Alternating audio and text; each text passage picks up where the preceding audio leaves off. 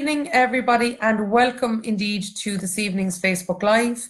This is all about economics for teachers and students in second level schools in Ireland, as well as for everybody who is interested in the subject. What I'm going to do here this evening is I am going to uh, delightfully take you through a range of issues that are happening in the Irish economy at the moment. But in particular, what I am going to start off with is whereyourmoneygoes.gov.ie. Just like I did in last month's session, uh, I'm going to take you through a really, in my opinion, a really, really useful um, website that helps you to figure out what is going on in the economy and how to take advantage of the information that is there so that it's a so that, that, that it's useful for you to see and that it's useful for you to extrapolate the data from so that it can speed up your revision or your research. Okay, so this is called whereyourmoneygoes.gov.ie, and down here there is the full breakdown of what is going on in the economy from the point of view of what your taxes are spent on. So, for example, as you can see here, we've got 21 billion for social protection, we've got 18.3 billion for health, education, justice, agriculture, debt servicing and payments, and transport. So as you can see there, there is a, quite an amount of money that is spent in the Irish economy. And up here, as you can see, the total expenditure for 2020 is expected to be 80.4 billion. Now, of course, what I'm going to do is I'm going to take you through how to look at housing tonight. So as you can see, it's not down here. So it's not in social protection or health or any of the others. And it must be there for in other. Now, if you double click on any of these columns, well, then you will see a breakdown of what's going on underneath. So I'm going to double click here, and now you can see 206 million is spent in the Department of the Taoiseach, uh, 529 million is spent in the Department of Finance, Public Expenditure Reform, Foreign Affairs, and so on. And now in here you can see that I have housing, planning, and local government. Now, if I wanted to see what that money is spent on, I double click in here, and uh, and there I can see if there's a drill down, I can see what's available to me. For example, in here, what's in the Taoiseach, I can see that there's 206 million spent there and, and I can't drill down any further. So over here, as you can see, there's 4.31 billion spent on housing, planning and local government. So what I would say here is that if you are looking to find out something about a government policy on a certain area, or you're trying to see, you know, how much money do we spend every year on on uh, on debt servicing or on repaying money upon our debt, that's another chapter in the book or of course uh, how money or uh, the way in which the money is being split across different priorities of the government. Maybe for example it's health and education etc you can see that here in this website very very simply. So as i say it's something that i find very useful and uh, it's it's very very simple to use. So what i'm just going to do here is i'm just going to copy and i'm going to paste here at the here is the link to the, oh, I'll just do that again, link to the site uh, breaking down the Irish government expenditure, expenditure, okay, and there you go. Okay, so of course it will be uh, many of the sites that uh, I'm talking about here uh, are all available. I will be giving you the link, and just like I did last time, I will be putting together a comprehensive blog post with all of these links and so on right here on our it'll be available on our blog which is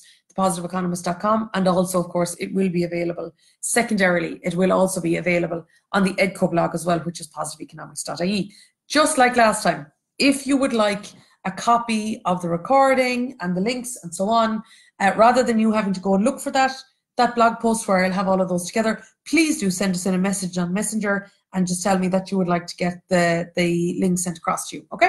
So uh, just go on to Messenger, Susan Hayes, the Positive Economist on Messenger.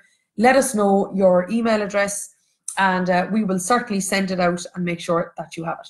Okay, so now that we know how much the government spends on something like housing, as we can see here, is 4.31 billion. Now that is including planning and local government as well. Okay, so what we what we now need to do is just we need to be considerate of how is housing, how, what is the situation like in Ireland at the moment. Now, in economics, we know that things are decided upon, decisions are made within the market economy.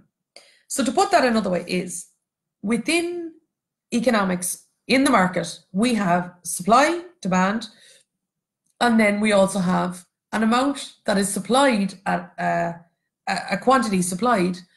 And what we do is that we take the quantity supplied and that interacts with how much is demanded. And that is what that is where we find our price. In other words, what you do is you look at demand, you look at supply, you look at where they match together, and where they match together is on price. So that is where the people who have the money to afford the quantity available in the market pay for it at the price that they can afford.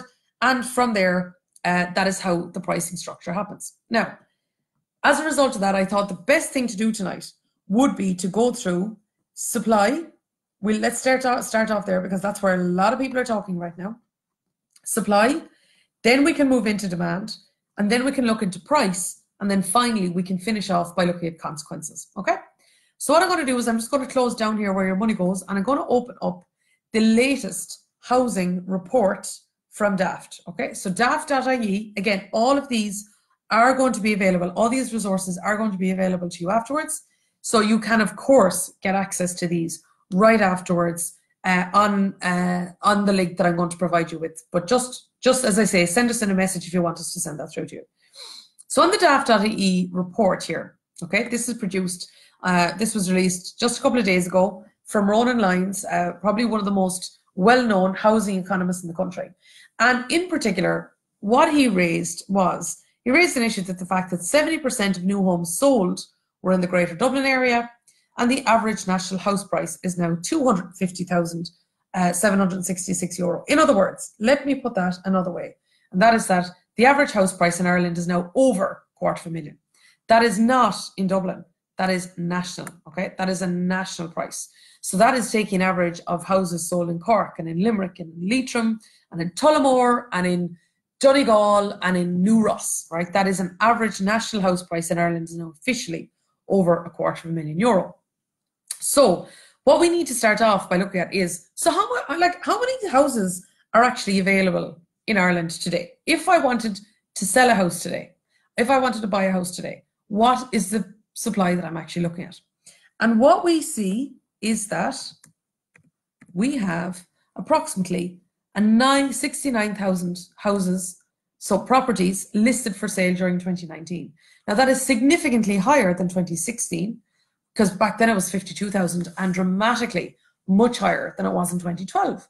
In 2012, there was just 33,000 houses.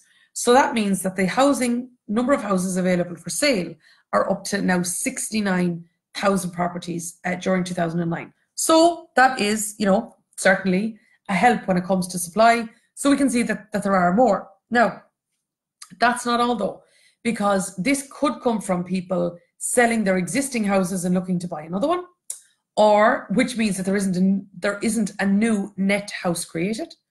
Or what this can also mean is that people are potentially leaving the country, or this may potentially mean that people are looking for a different type of house than where they actually are at the moment, or it may be may mean that they want to move. So the question is, not just how many are available for sale, but how many are actually, how many houses are actually being um, provided or how many houses are being made available. So uh, new and completed. So for this, what I'm going to do is I'm going to go to the banking, okay, Banking Payments Federation of Ireland.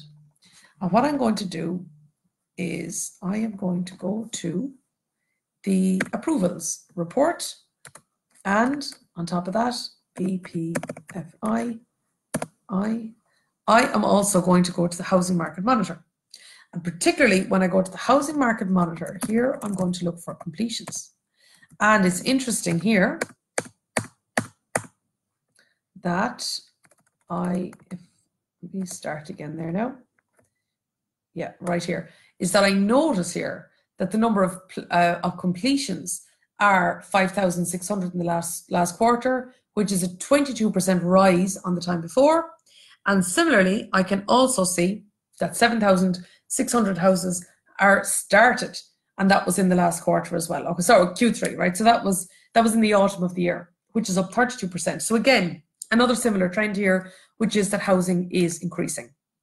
The, the quality, quantity of them. There are more houses available for sale now than there were. There are more houses being completed now than there were. There are more housing um, being started now than there were. Okay, so all of that, all of that is good. All of that is good from the point of view of expanding the supply. However, it's not enough to just look at that and say, okay, supply is increasing, therefore that's good. Further, what we need to do is that we need to look further than that. And what we need to do is that we need to think about, okay, what do people use houses for? And you might say, oh, come on, Susan, seriously.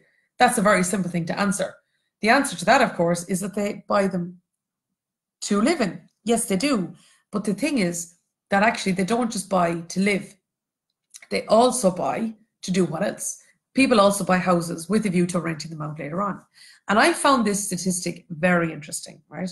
When you actually look at this statistic, let me show you uh, on the, let me show you, yeah, look at this. Look at this statistic here on the report. Is that rent, the rental market is home to almost one third of all households in the country. That was higher than I had anticipated. That was higher than I thought when I started doing my research on this subject.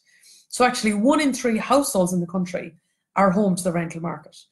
Now, you might say that doesn't sound right because we have a lot more people living in houses that are bought. So when you think about all of the look at the number of children in the country. So people who are children, of course, live in a house that generally is owned.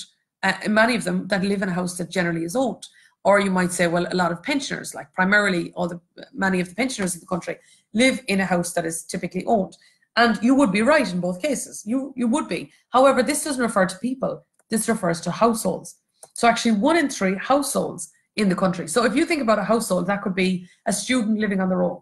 That could be uh, two people without children who are recently moved in together in Cork. Are, that would consist as one household uh, which and one household, of course, would be the same as two parents with five children. That is also one household. So it's actually not about the number of people; it's the number of households. Now, when we take a look at rent, when we take a look at that, well, then we have to look at another factor, which is if one in three households in the country are renting, what is the supply of houses to rent, not to buy? And from that point of view, that is where we would go and we would go back to the go, look at a different stage in, in this report and let's take a look for this number, uh, which is not in uh, this one, but uh, let me go back here again. Um, sorry, it's the rental report I should be looking for. And look at this number. Oh, okay, we'll try it again. There we go. And that is on the 1st of November 2019. There was three and a half thousand house homes available to rent nationwide. Now, let's think about that. Let's think about that. If there are 69,000 houses available for sale and there are only 3,500 homes available to rent, now there is the difference is that there is a fraction. There is just a fraction. There is about 6% of the housing stock available to, for sale. Uh, in comparison, 6% of that housing stock is available to rent. And that is the difference, is that there is a much, much, much, much lower availability of homes to rent. Now, at the same time, this is up 10% at the same time last year. And here's another interesting statistic uh, for you, certainly one that I found interesting anyway. That is that of that number, we are looking at approximately, uh, that is the first, the very first November in a full decade that that has happened.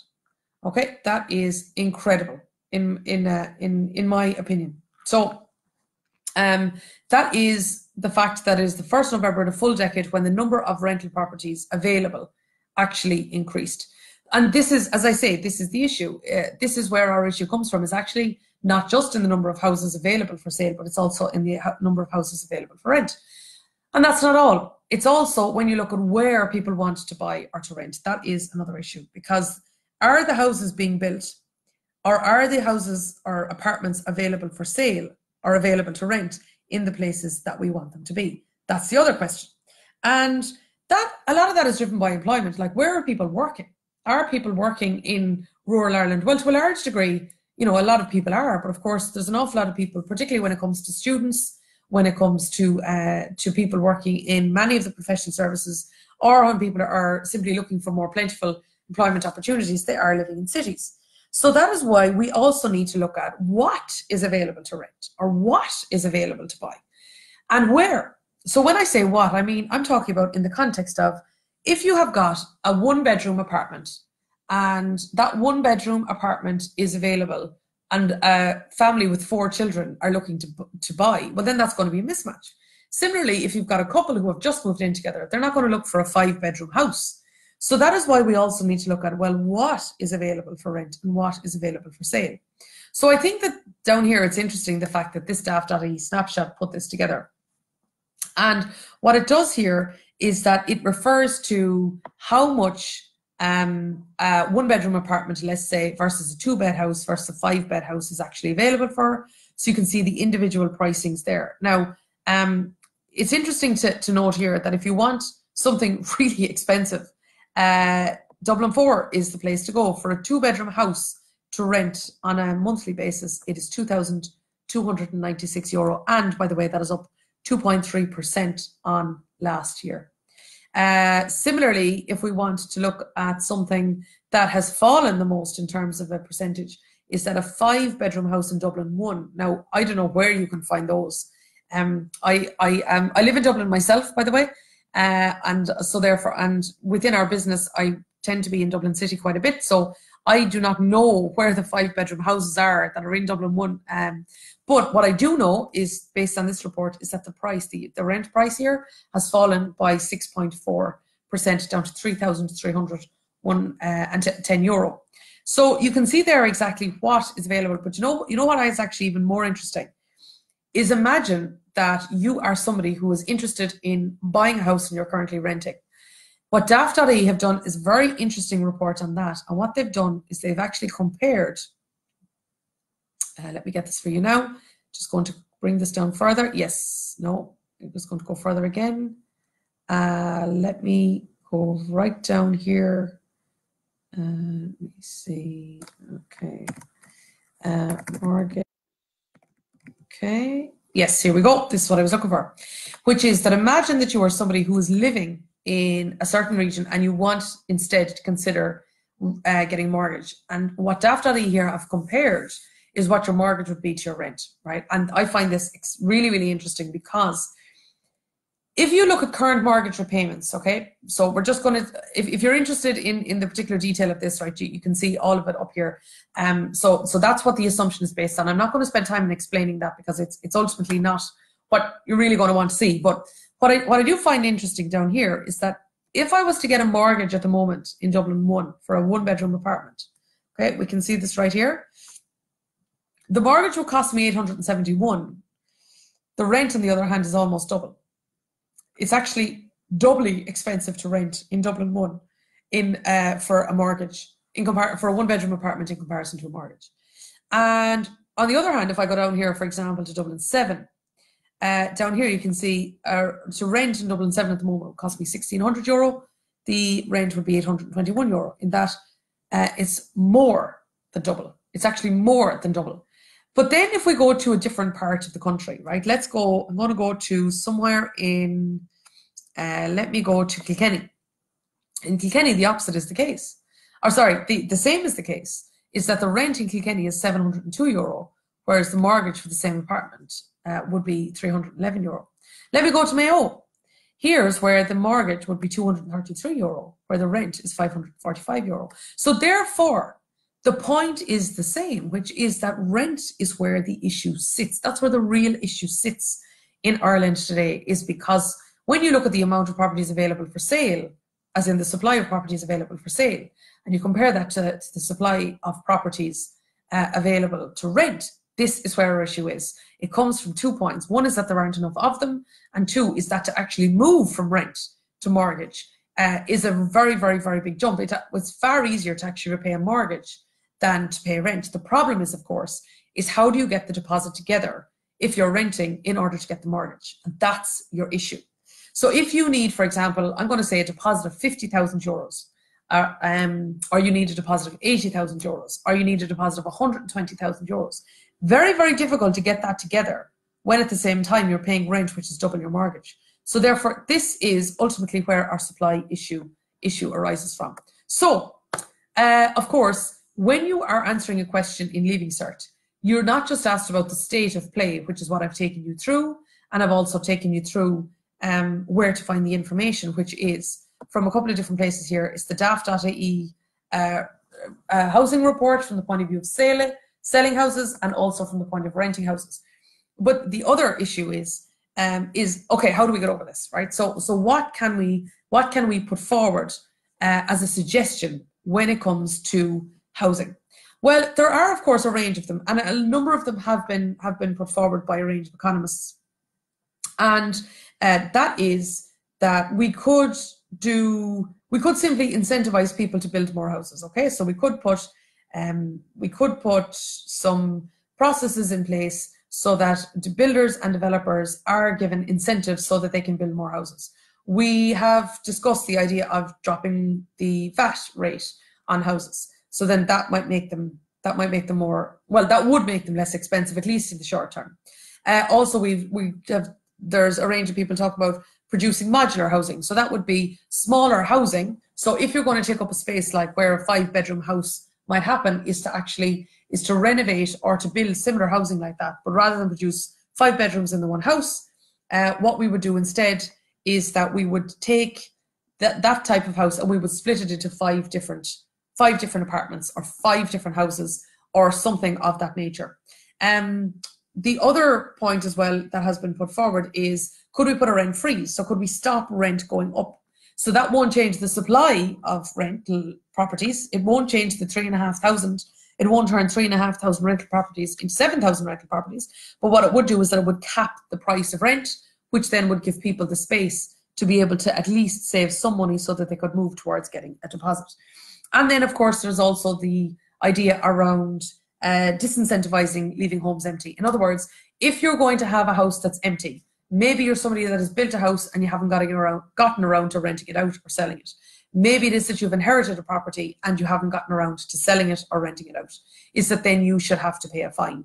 And then that fine would incentivize more of the existing housing stock that isn't made available for rent or for sale to be made available for rent or for sale all of those are very very well discussed and and there's been a lot of people uh a, a lot of people came on um a lot of people have come on various different me- news and media sources to talk about this and to talk about the veracity of it and to talk about how it might be the case and a variety of different things like that but can I add one other thing into the mix, right? Can I just add another point? And this sounds like it's going off. It, it sounds like that it's going off, you know, off off topic, but it's not.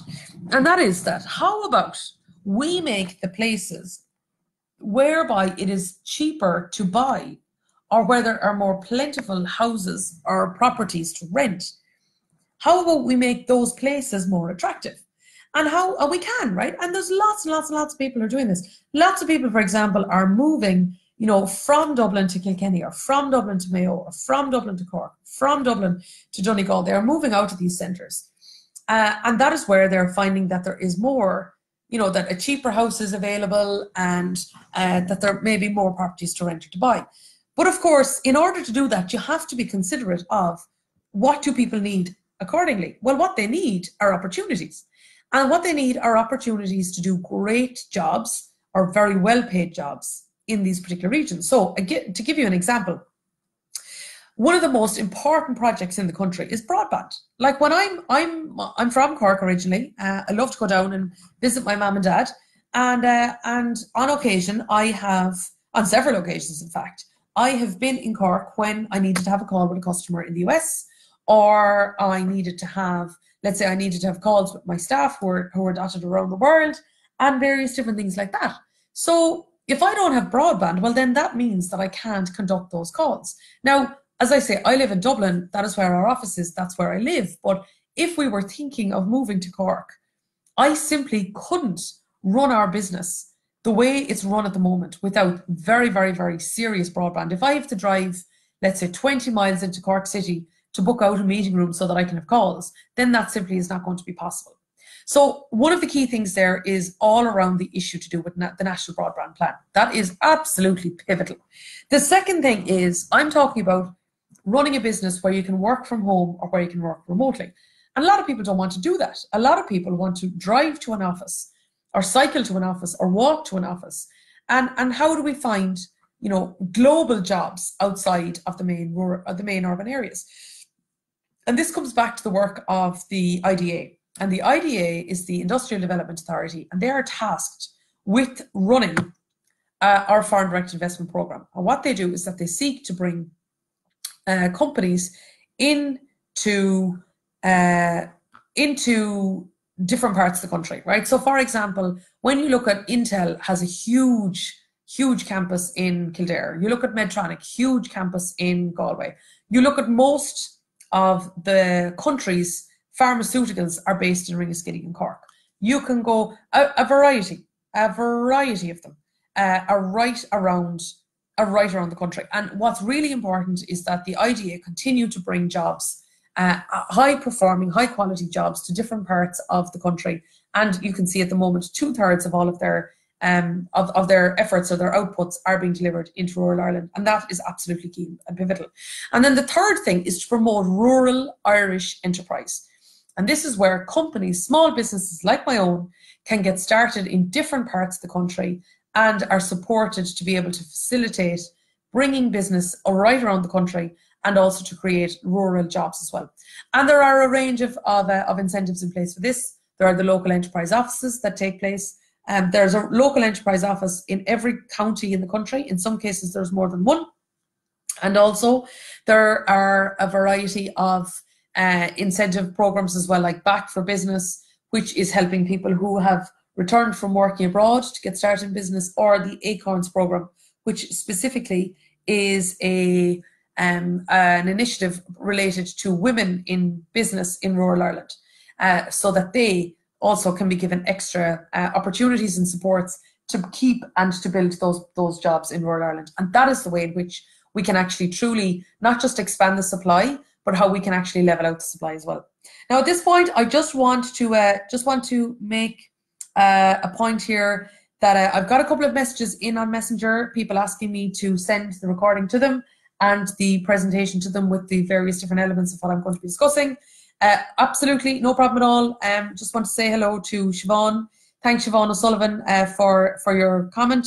Um, and also, there's a couple of other teachers. I think that they're teachers, they may be students as well, of course, who are just sending me a message in saying, Can I make sure to send the details then? Absolutely, I'm more than happy to do that. And of course, I also want to make the point that if you leave your email address there, we will send the link to you and also let you know when the next uh, the next monthly Facebook Live is going to be coming up. Now, let's move on from there. Then uh, let's move forward and let's instead look at demand. Okay, so what is actually driving the demand of housing? We need to also be considerate of that because what is driving the demand is going to be what we need to think about and what we as economists uh, can actually do regarding uh, increasing or, or, let's say meeting the demand where it's actually being demanded itself. Now, first thing that I'm going to talk to you about is mortgage approvals, right? When we look at mortgage approvals right here, what you can see now is the amount of money that is being approved in mortgages that will ultimately find its way into the economy. So this is the first indicator of demand. Now, over here, what I can see is the latest data that I have is from November 2019. And in here, you can see that we have a, a total in November of 4 point 4,102 mortgages, 4,102 mortgages, and that was in November. So that was in the month, and that comes to almost a billion euro. So a billion euro uh, in terms of value um, that is how much money is waiting to hit the Irish economy in terms of housing. So there's a billion euro that has been uh, approved. Now, the way in which the mortgage process works is that you apply for your mortgage, okay, and you apply for your mortgage on the basis of your earnings and of your deposit. So if you have 100,000 euros of deposit, let's say that you're making 50,000 euros in your wages.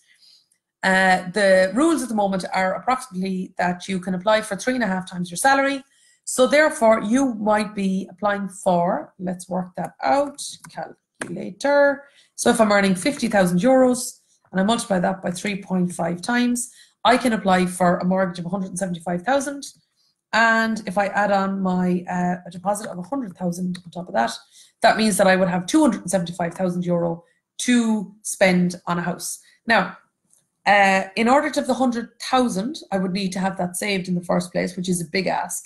And of course, secondly, for you to be earning 50,000 euro is also well above the average wage, the average industrial wage today in Ireland.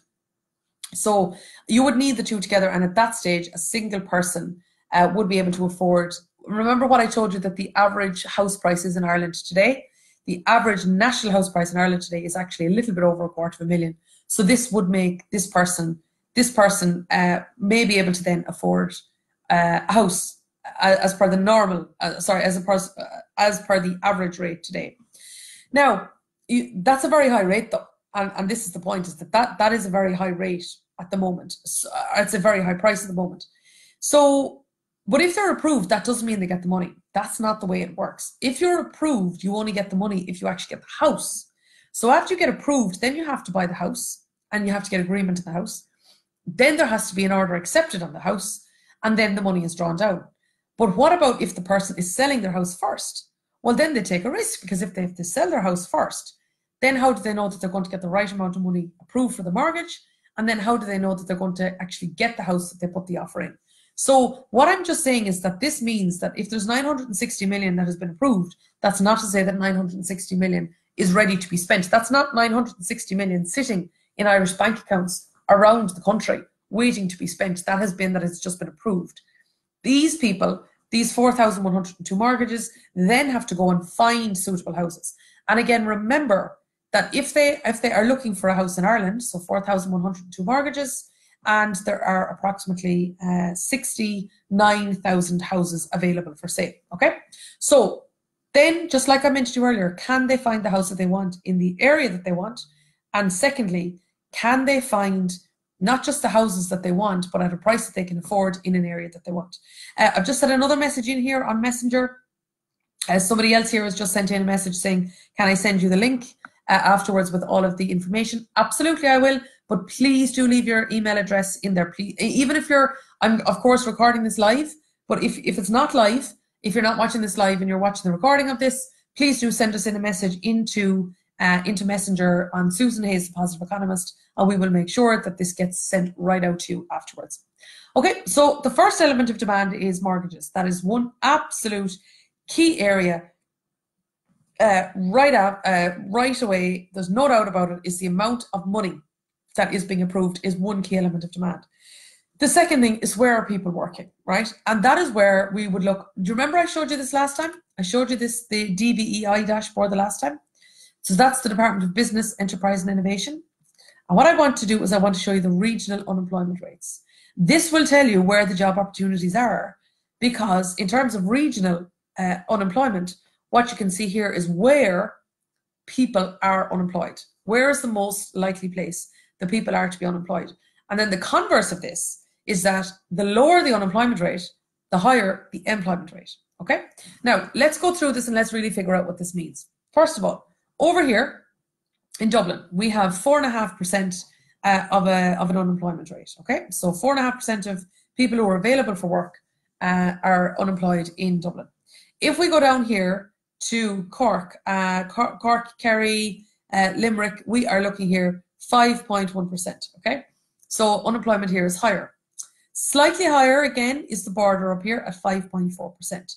So all of the border region will be Donegal, uh, Sligo, in here into Leitrim. So all, all of these, these areas over here, okay? But the highest unemployment rate is actually down here in the southeast. It's 7.3%.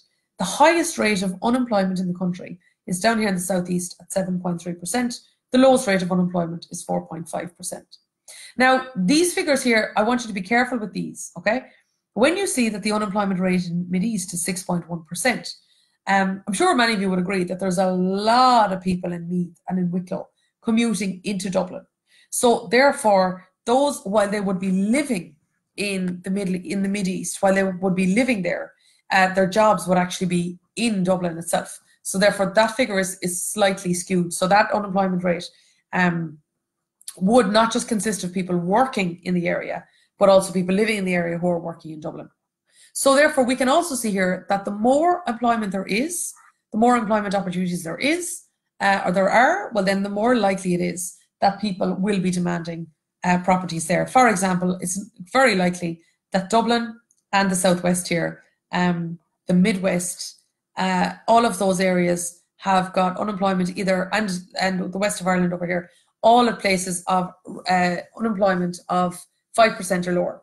Now, when you look here at the Mid East, when you look at the Midlands, uh, when you look at the border, all of those are less likely to have uh, there, there there's a higher rate of employment there, unemployment there, then finally the southeast as well. Now the converse of this then is if I was somebody interested in foreign direct investment, let's say that I'm a massive company in America, let's say that I'm an Asian company of middle size, and I would like to find a European base.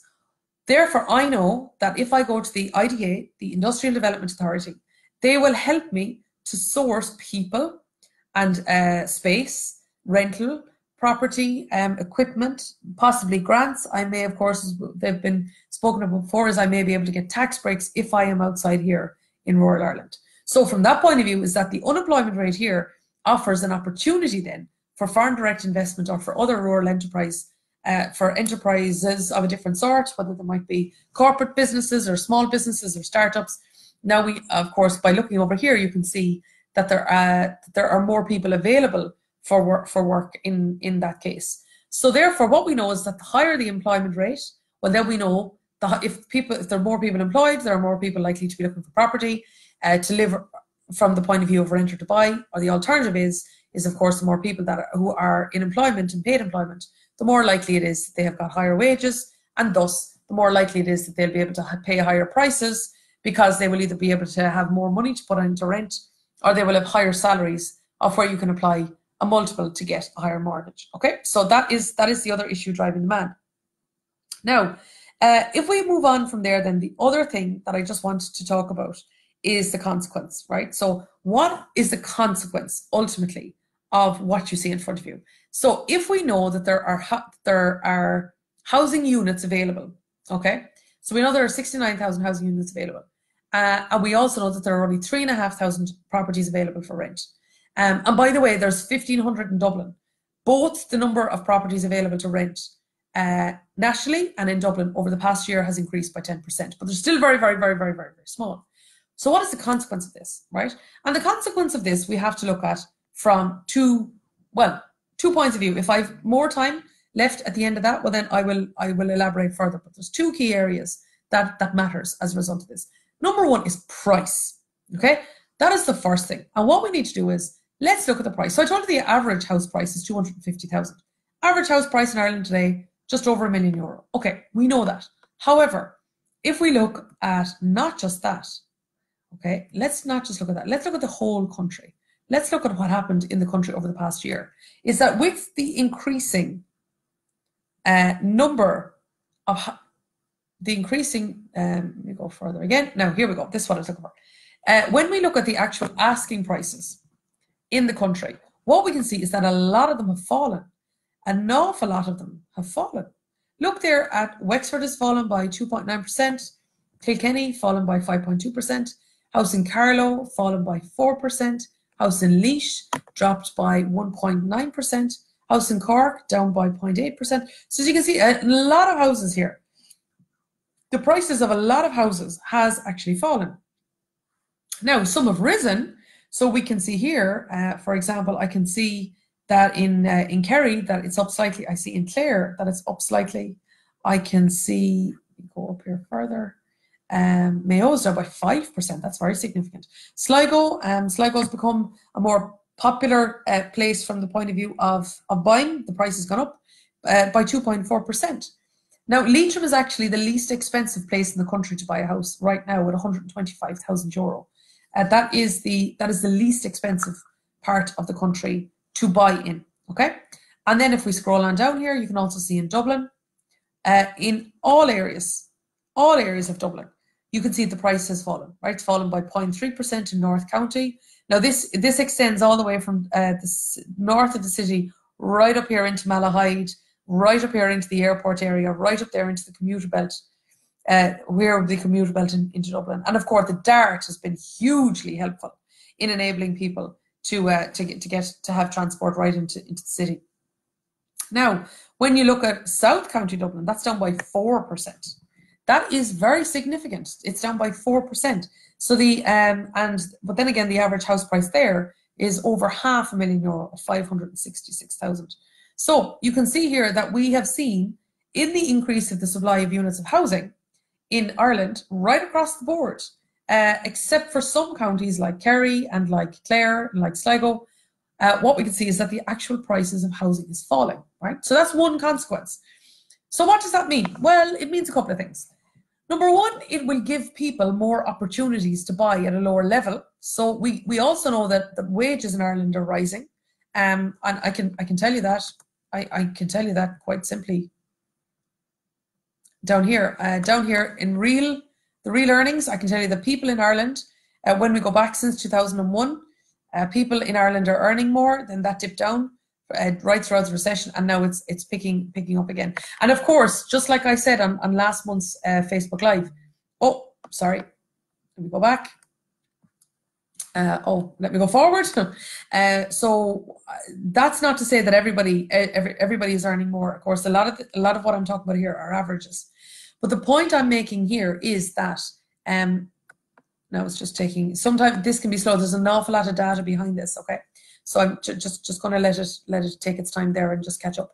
Um, what I'm saying here is that the average wage, the average wage is increasing in Ireland. That's average. That's not everybody's that is the average wage.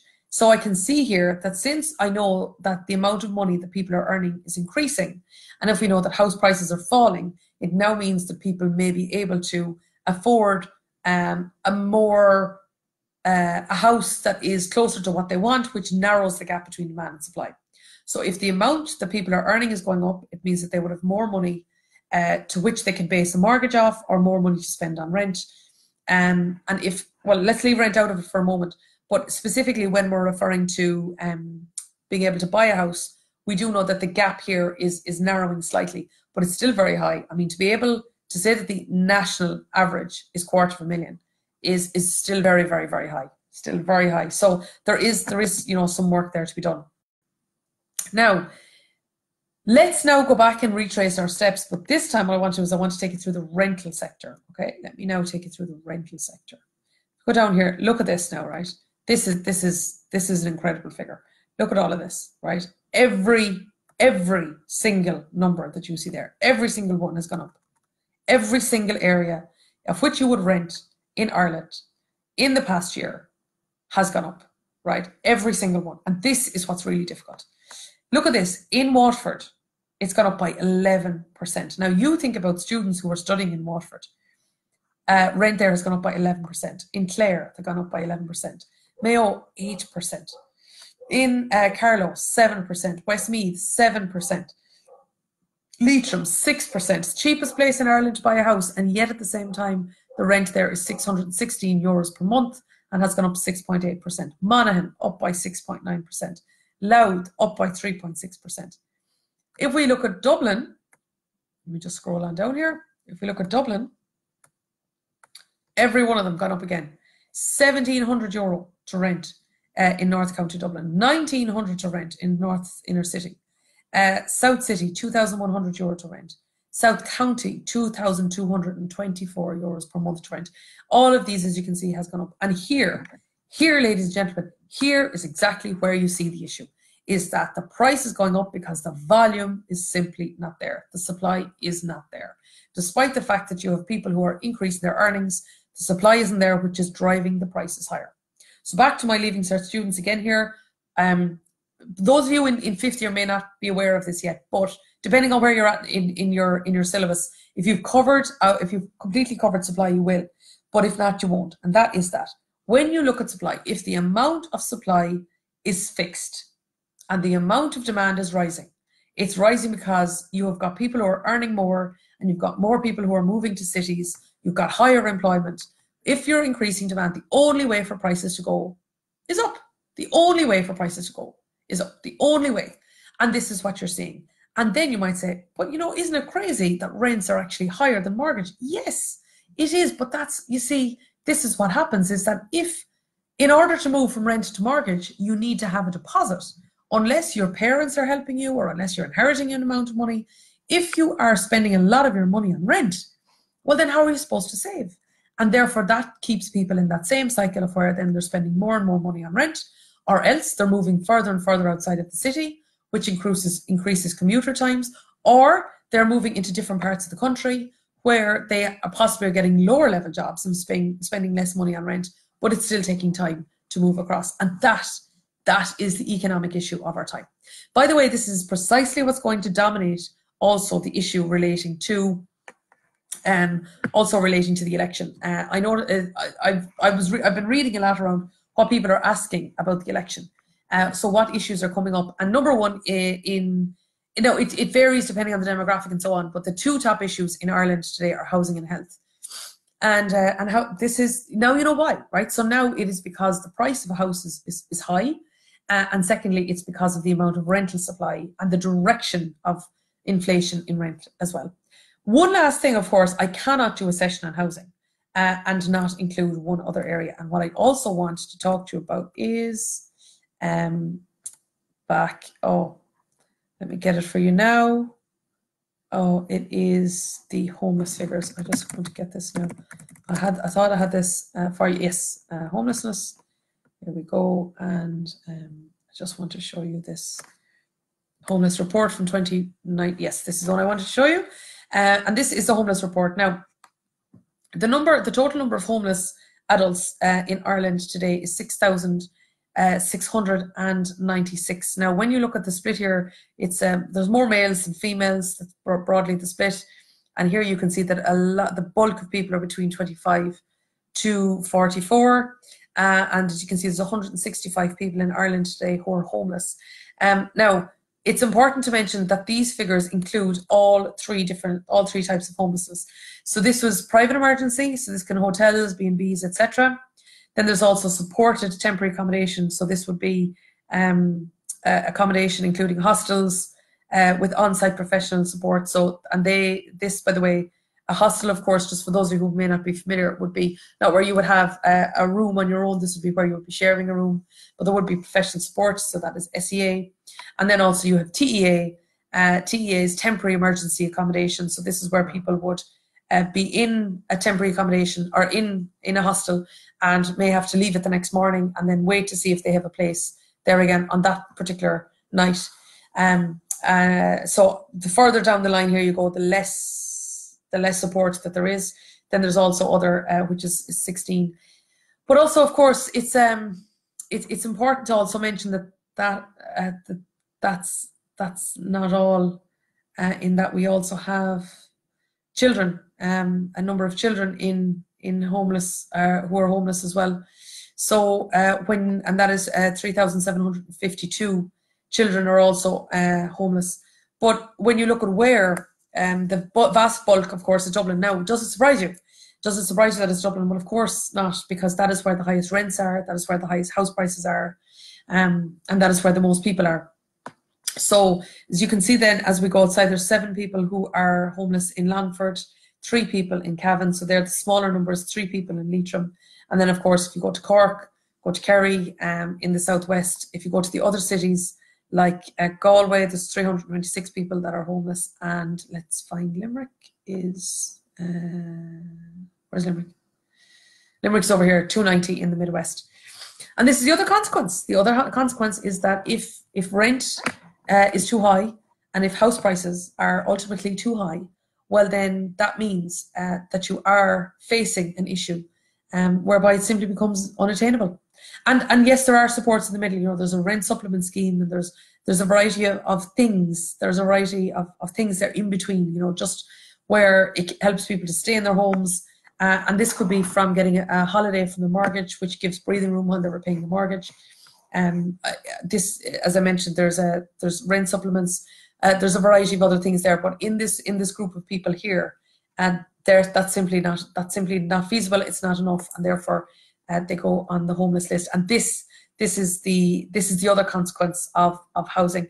Now I could talk about other consequences, but um, when supply and demand don't match, then you have got prices that are very difficult So we've we've seen the imp- Im- impact of that, or else you simply have people who are not available, who are not able to avail of supply, and that is the figure that, that you're looking at right here. And it's all of these issues, as I say, um, all of these sub issues that I have now got into detail with with you. That is where that is where the the issue uh, stems from. Um, there are a number of other elements I haven't had time to refer to, like you know the growing population in Ireland, um, and and a number of other things like that that I simply haven't had time to elaborate on. But uh, you can certainly talk to your teachers about that. Uh, uh, the other areas that are that are making that are pushing demand or that are influencing demand and supply. Before I finish, because I've got six more minutes left, uh, at this stage, what I'm going to do is I'm just going to ask if anybody has any questions about anything to do with this area or others. Please do, you know, pop your comments in, or of course send them into Messenger if you want as well. I, I can see my Messenger; it's it's open here beside me, so I can certainly I can certainly see that. I can see a range of a range of you who have sent messages in there for me to send items on to you. So so that's that's of course completely fine. Please, please, please do. Uh, very happy to very happy to, to look at that and to be able to to respond to you. Um, without a doubt, of course. So uh, just while I while I am here, just as I say, I've, I've only got, got a couple of, of minutes left here. So please do feel free to to pop whatever it might be in there and uh, and let me know if there is something that you would like for me to uh, to answer. But I did also mention that um, I did also mention that I was going to be talking to you this evening about uh, revision, uh, revision techniques as well. So I just, just want to give you a very brief outline of what uh, are ways in which that you could look at different different points from the point of view of revision. So I'm going to just start off. Uh, I'm going to just suggest to you that you open up your PowerPoint. Okay. Okay. So just just going to uh, just going to suggest that that you do that right now. In here, I'm going to just going to open up here. What I'm going to do is I'm just going to open a blank slide. Okay. What I'm going to suggest in here is that you look at smart art.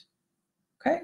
So I'm going to say, for example, I am going to put here, uh, right? So here is some smart art.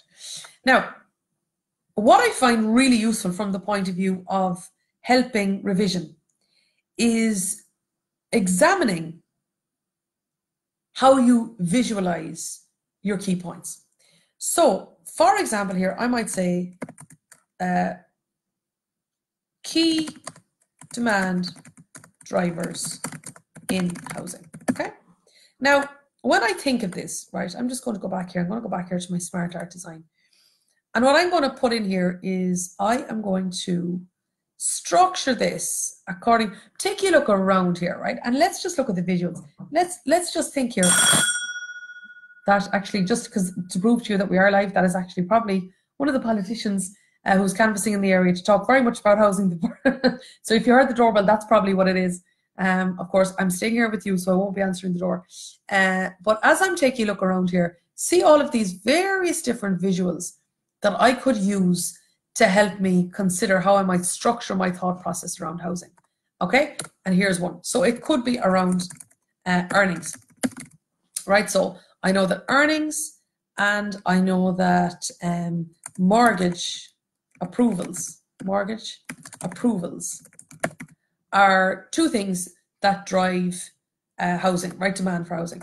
And within earn within earnings, I know that uh, what's driving earnings here would be um, growth in average earnings, average earnings. And I also know that uh, growth in employment. So I know that if there's more people employed, it's likely that they're going to have more money. And I also know that if people are earning more, they're going to have more. In terms of mortgage approvals, I uh, know that this is going to um, going to come from mortgage, mortgage approval value. And I also know that this is driven by mortgage approval volume. So the more mortgages that are approved, well, then the more money that's going to be available. Uh, and also, I know that the higher the mortgage that people are applying for, the more money that's going to be available. So my point is, is that you know sometimes rather than just writing down loads of bullet points or looking at paragraphs, etc., what can actually be a good idea is to structure them in visuals. So what I use myself, I use this all the time, is home insert smart art and down here then it could be let's say a relationship right? So it could be in this case i might choose something else and i might say okay uh, i might say here interest rates okay? So if if interest rates change the lower the if if interest if interest rates comes down well then uh, more mortgages uh, demanded and then up here I could have if interest rates go up fewer mortgages mortgages demanded okay so from this point of view what you can say what you can see here is that I can also use this to just to structure my notes. And as you, you, saw me there, I did really, really quickly. But you know what else it does is that when you think about this, right, when you actually go, okay, insert, then you're going to put in smart art and you think um, process. Okay, I'm going to think about the process here. And the process might be, let's say, uh, wages go up. Okay, so what happens next? Well, then mortgage, mortgage value, mortgage approval approval is go up. Okay, so what happens after that? Well, then probably house prices go up because people can spend more money.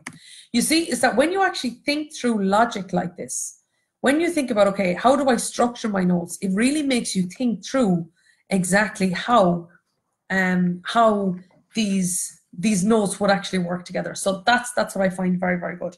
Um, and another thing that I would say is that it's very good to record your notes. The reason for that is that if you are somebody who is an audio learner, it can be a very good idea to record your notes. And if you record your notes, then you can listen to your notes while you're brushing your teeth or while you're walking to the bus or while you're sitting on, you know, sitting on the dart going to school. It's just, it's free study time. So here's how you can do it, right? I use a, a product called Audacity.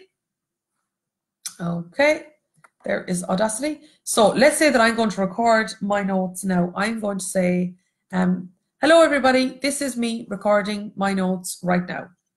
Okay, so let's say that I record, let's say that I, I just read out my notes and I record them here in Audacity. So you can download Audacity for free. Very, very simple uh, product.